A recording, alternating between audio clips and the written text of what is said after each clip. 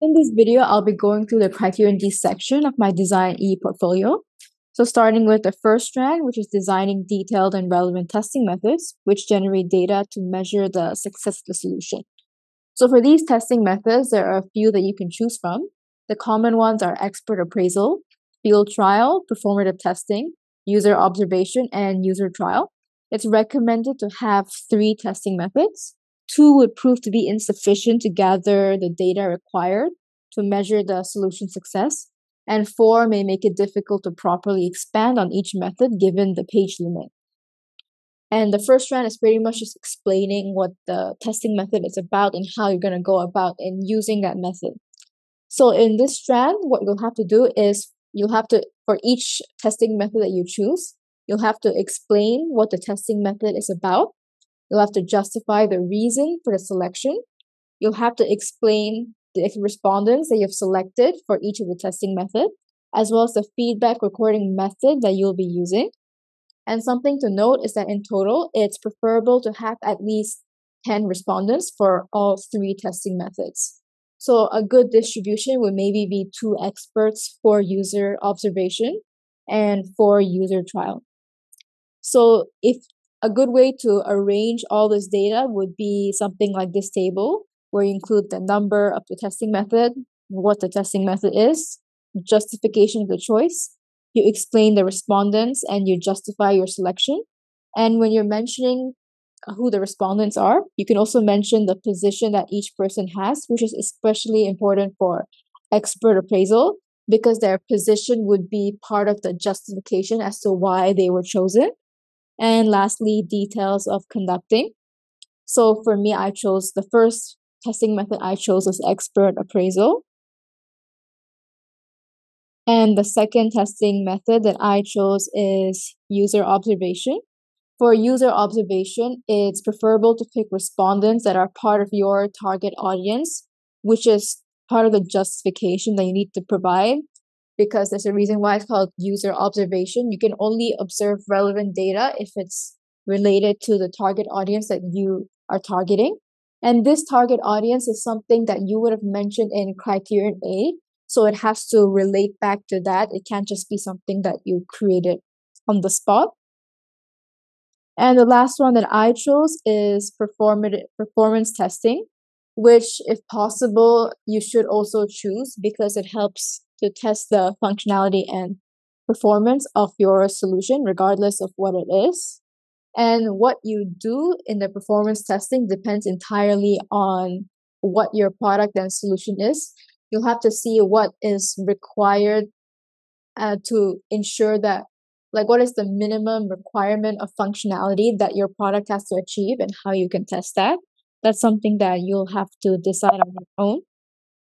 And another thing is that while it is not compulsory, a good way to gather data from all these testing methods is through a survey form. So if you were to use a survey form, you'll have to explain the survey forms for each testing method separately. You'll have to mention what questions are you including and the purpose of the question. If possible, you'll also have to include a picture of the survey form the reason I didn't is because it didn't fit within my page count. But if possible, you should do it. But if really it's if you really can't have can't find the space, you can place it in the appendix. And when you create the survey form, the questions have to be created in a way that allows you to evaluate the success of your solution against the design specifications that you created in the first round of criterion B. So you mentioned certain criteria that you want your solution to have. And these questions have to be made in a way so that the respondents or whoever is answering the questions can allow you to gather data on whether these specifications were met by your solution or not. And for me, I use the Access FM model to create the questions because it allows me to know what aspects of my solution my question should focus on. So this is for expert appraisal and for user observation as well. I didn't include it for perform uh, performance testing because a survey form does not apply for that testing method. So it's not like it's necessary for everything, but it depends on what testing method you're using. You should always have a survey form if possible. So the second strand is to critically evaluate the success of the solution against the design specification. So here you'll have to sort of summarize and explain the results you got from the testing methods. So you'll have to, because I use surveys, so what I did is for each of the survey questions, I summarized the data in a graphical format, so a pie chart, and bar graph, whatever applied to the question. And that would be sort of the summary and I would place, I would arrange the questions on the left and explain the outcome based on the graph on the right. So if possible, you should always include the graph here, but similar to the case before, I did not have space for this. So I included all of my graphs in the appendix, but really, if possible, you should include all the graphs here. So you put all your questions here and you explain the outcome, you summarize the outcome and the main points that you got from it. And towards the end, you give a conclusion for the data that you've obtained from this testing method. And this is repeated for all the other testing methods too.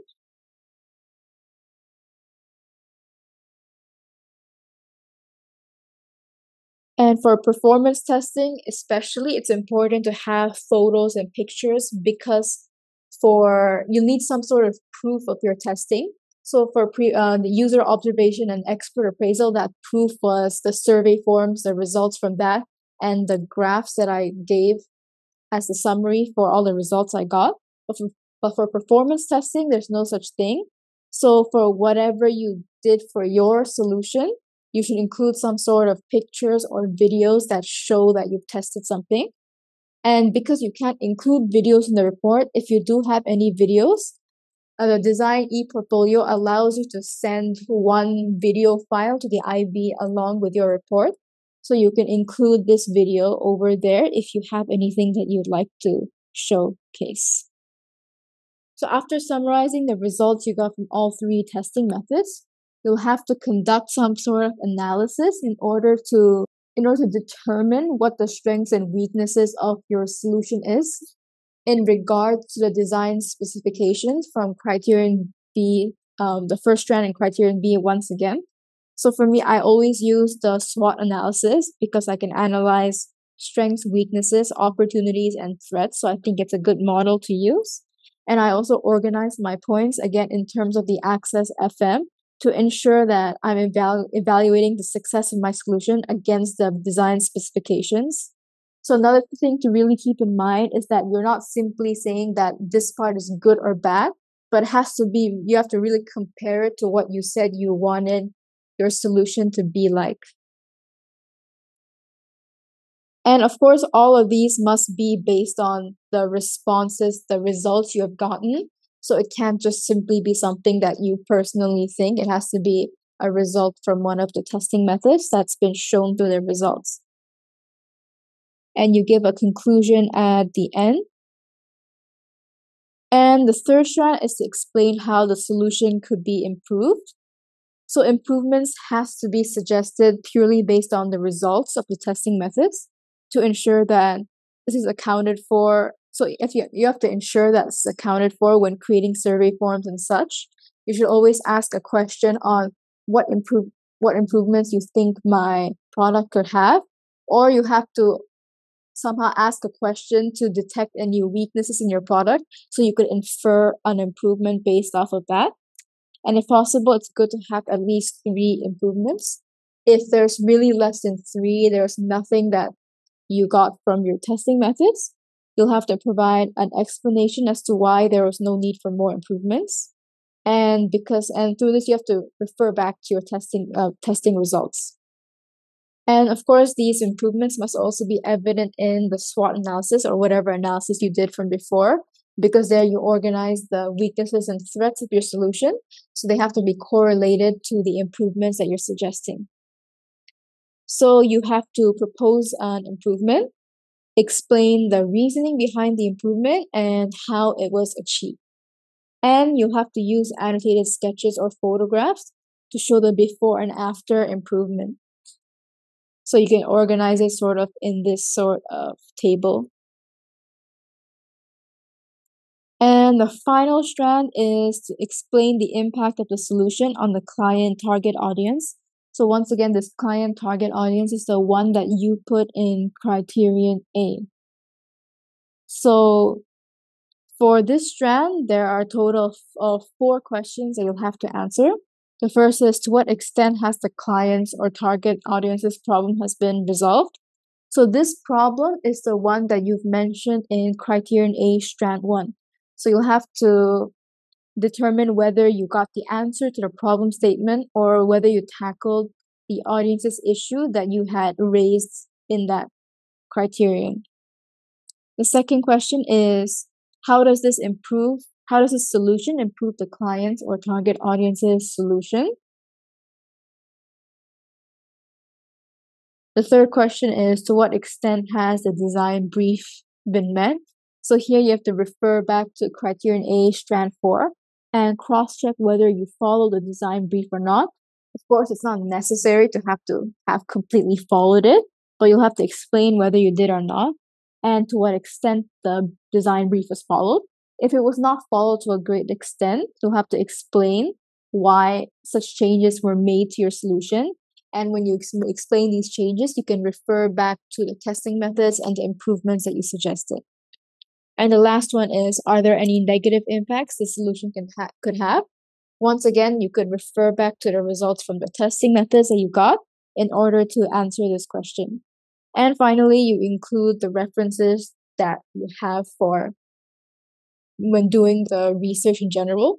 The references are mainly for criterion A, but you could have also used references here and there to support certain points that you made.